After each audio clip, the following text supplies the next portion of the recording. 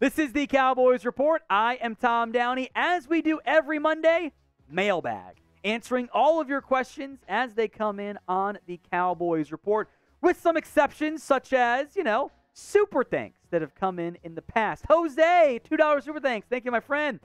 If Dallas willing to try anyone for kicker, they should give Harry Kane a call. Anything, anything is anything, right? He's a soccer player, so he's going to do something NFL. So this is true. Uh, Harry Kane did say that when his soccer career was over, he wanted to try being an NFL kicker. I appreciate Harry saying that that would be very challenging and hard because it would be. It's not an easy transition. It's a very different motion, etc. Uh, but not not not a thing that could happen right now. More of a thing that would have to happen at a later point. But Jose, I appreciate that super thanks. You're very kind. When it comes to kickers, are they people? Y for yes, N for no. You guys can vote. You can be mean or be nice go ahead and sound off for me in the comment section right now. That was a super thanks, by the way. If you do a super thanks, just like we give a shout out for a super chat on a live show, we'll do a shout out for a super thanks on demand. It's a new feature on the YouTube side of things. Click the thanks icon, edit your message. We appreciate all of your support here at the Cowboys Report. So if you super thanks, we'll give you a shout out. Alan Williams the second, over under. How many sacks do you think Micah will have, Tom? Um, 13 in as a first year player, 13.5 last year, 14 as the over under number, which by the way, super high over under number. That's like, you know, reflective of a potential defensive player of the year candidate. So I'll go 14. I still might take the over. I'm a mod god of COD. Should we move on from our center, Tyler Biadasz? Given he struggles in the pass protection and lacks size in the run game, I'm overall fine with what you've had from Biadasz. He's not Travis Frederick. Very few are. Is he a bad center? I don't think so. Is he a premier center? I also don't think so. I think he's average to above average, which for what he's getting paid is awesome. He's getting paid like like 2.5 million bucks something this year. Like five and over the course of his career. That's that's awesome contract value. Now, he could get seven, eight, nine, ten million on the open market. Do you want to pay him that? Not so sure. So for now, keep him. Next off season, let's see what happens. Cannon Hope. You think CeeDee Lamb is a top 10 wideout? I do think that. And look, there's a lot of great wide receivers. I mean, no disrespect. I mean, look around the NFC East, right? Two great Eagles receivers, Terry McLaurin, CeeDee Lamb. That's four. Four guys you can legitimately argue are top 10 guys. I'm still putting Lamb in that conversation.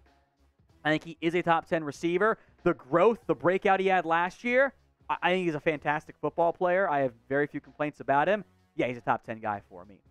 From Zeno saying, I know Zeke isn't what he used to be, but it still shocks me he hasn't been signed. He's was a fullback, still at 12 touchdowns and almost 100 yards. Here's the issue you run into. Does he want to be a fullback? That's a very different role. That, that, that's a lot more blocking, which of course he's done. I don't know if that's what Zeke wants. Zeke, from what I've been told, has done a really good job of managing his money. He's, he's actually he's, he's, in, he's in good shape there, some smart investments. So he doesn't need to just play for anything. He probably wants a decent sized contract still as a sign of respect for a certain extent. The other issue you, you run into is, yeah, he had almost 900 yards. He wasn't efficient. The running back market is brutal these days. It, it really is, which makes it dicey for guys like Zeke and even other guys across the NFL. From Courtney Powers, how worried are you about Dak's INTs? Interceptions are bad. We all know that. Uh, I don't think anyone argues against that. I would be more concerned if, historically speaking, Dak didn't turn the ball over a lot. Yes, there are points he's aggressive. It's worth it because the offense has been fantastic in the last couple of seasons with him. And a lot of those were just straight up not Dak's fault. So in general, yeah, interceptions concern me. The way they got there, I'm not as about it being repeatable next year, if that makes sense. So, what is your confidence level? I'm sure this will not be a divisive question at all. Confidence level in Dak Prescott. Scale it from 1 to 10. 1 on the low end, 10 on the high end. The ad break comes here on YouTube. Take advantage of it and go vote right now at the pinned poll. All right, next up from Jerome Nichols. Is there an O line guy we could trade for? Is it a chance we can just sign Pollard to a deal? Cook is better than our backs except Hopkins. Uh, and Hopkins better on receivers except for Lamb. We need a kicker, O line starter because Tyron got hurt. Okay, so there's a lot going on there, Jer- uh, Jerome. Shot coming after the mailbag cut. Um, Tough to find an offensive lineman. Call the Steelers about a guard. They've got guard depth. James Daniels, maybe. Uh, Kevin Dotson could be an area to explore there. Pollard for a deal, I possible. Um, the running back market's bad, and that's that is a makes it tough to, to get a deal done from both sides' perspectives. Uh, Cook is better than the backs. Yes, I agree, but how much do you want to pay him to be a backup to Pollard? Fair question. Hopkins better receivers except for Lamb. I would agree.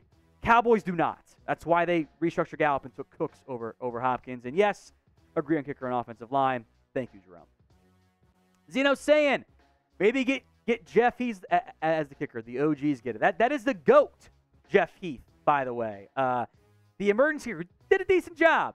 Uh, do the uh, the Chad Johnson as the kicker as well would always be a, a fun idea there for the Cowboys. But yeah, uh, eh, eh, the OGs do get it. You know, you're absolutely right. I, I appreciate that, my friend. All right, next up from the Ponsick Show. Do you believe the Cowboys will lead the league in sacks this year? If they're not first, they're going to be super close to it.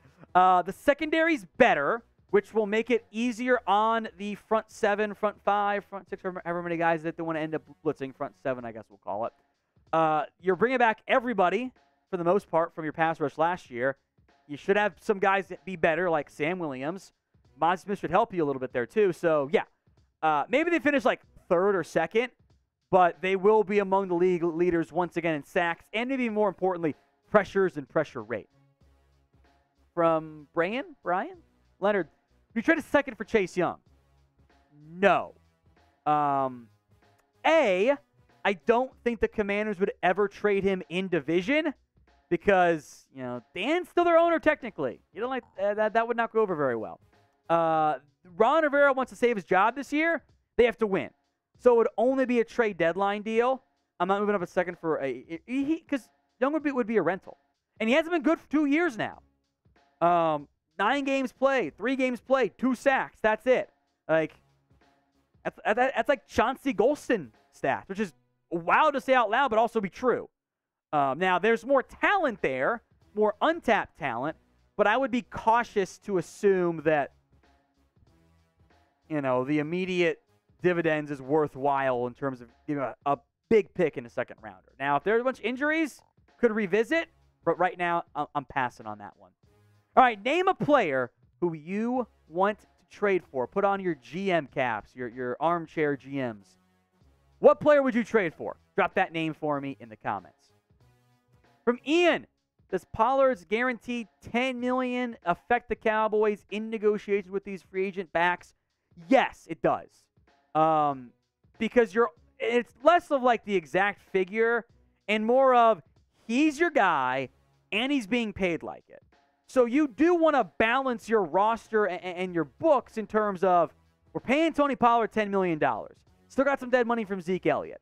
Do we want to be investing another big contract in a running back when Tony Pollard is good? It's the fact that Pollard has been really good for the Cowboys and he's he's fairly expensive. If it was only one of those things, would be a different conversation in the backfield. But Pollard's good. He, I think he can handle 200 plus carries do you need to pay a premium on insurance when, if knock on wood, something happens, you could always pivot at that point? From Vince, how should slash will the Cowboys use Tyler Smith short term and long term? Long term, I think he's your left tackle. Short term, we call him left side player. Uh, it's a really good question, and I don't have the, I don't have a great answer for you because I don't know if the Cowboys know yet, frankly, what they're going to do. Can Tyron Smith stay healthy for more than five games?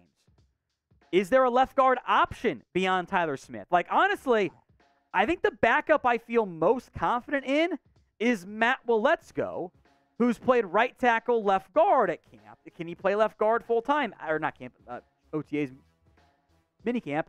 Maybe, but I'm not sure I I fully believe in that one. So it's it's a it's a tough question. It's a good question. I think we'll know more come training camp time. But long term left tackle, short term, we'll see. If you guys want your questions answered live, you got to be subscribed. It's the only way. Otherwise, you won't get notification when we go live every Monday. You'll miss out on videos or you'll miss out on breaking news. So make sure you're subbed so you don't miss out. Little troll from Turner Boys by Dak Prescott. Trade Tank and a, oh, this is not a troll. I, sorry, I read that as Dak the first time. Now it's a very different conversation. Uh, trade Tank Lawrence and a third round pick for Danielle Hunter, who says no. I think the Cowboys would say no, not because of anything about Tank or Hunter, the players. I think that's more of a contract issue. Because you've, you've already given Tank a pretty good size deal. You're, you'd be eating a bunch of dead money there. And you would have to give Hunter a massive new contract. You're talking probably, you know, upwards of $20 million a year. Maybe you get lucky it's 15 or 18 or something. I don't think Dallas wants to do that, knowing that down the road, they've got other big contracts still to come. From Ruben, starting Vaughn or Jones running back, use TP at wide receiver.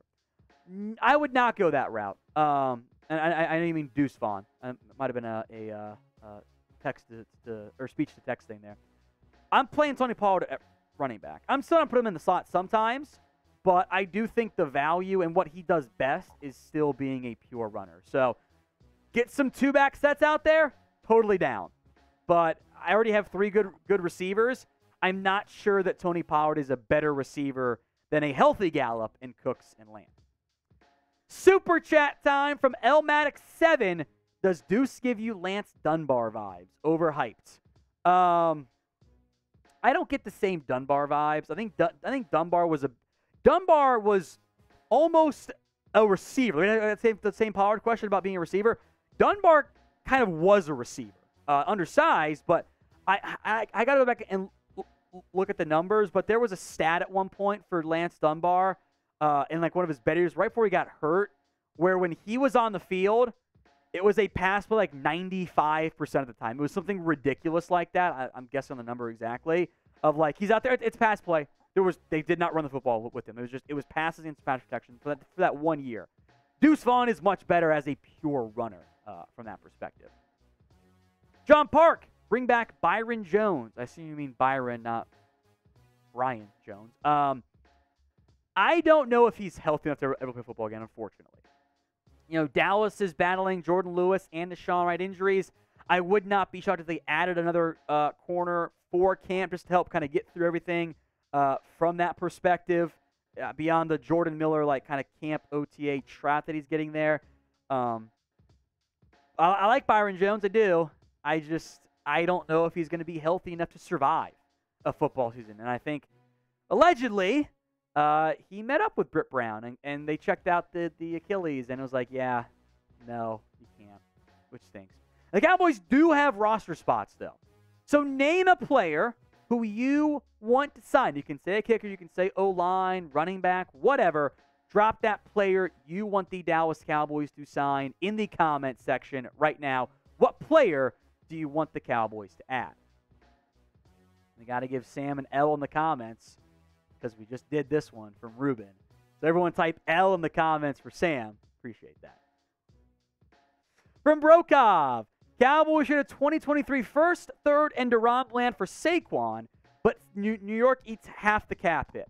I think the Giants would say yes right now.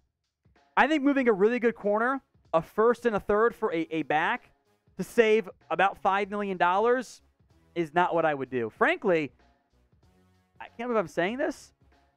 I would not move DaRon Bland straight up for Saquon Barkley, which I, I, I asked me a year ago, I never would have said that, but I think that that's just simply too much. Roger Moore, Cook for six or Zeke for three? I'm going to take the coward's way out here. Uh, can I check in again later on in camp? Can I wait? Because uh, both are kind of on the higher end of what I would feel comfortable paying.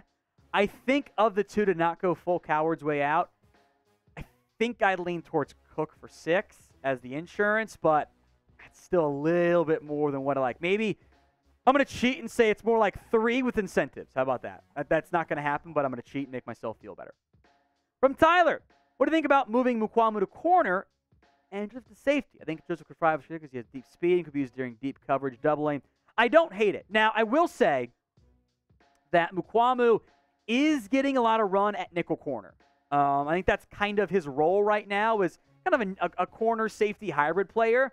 And they do, for that role, that nickel corner spot, They do have their corners also train with the safeties during some drill stuff.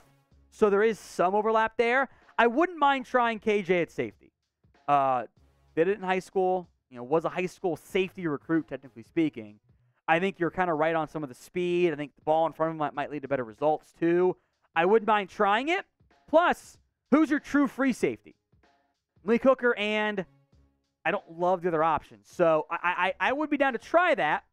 We'll see if Dallas actually will. Preston Jones, what late round pick do you think has the best chance of making the 53 man roster? I'll go sixth or later. Give me Deuce Vaughn, my small RB king out of Kansas State.